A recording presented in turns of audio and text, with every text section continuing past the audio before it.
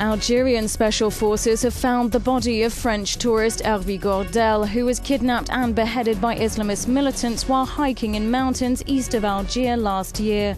His captors released a video of his killing after France refused to halt airstrikes against ISIL fighters in Iraq and Syria.